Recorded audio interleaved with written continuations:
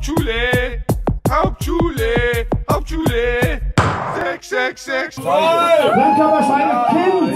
ja, Kind! Ich war erst ganz kurz mit meinem Freund zusammen, als ich erfahren habe, dass ich schwanger bin.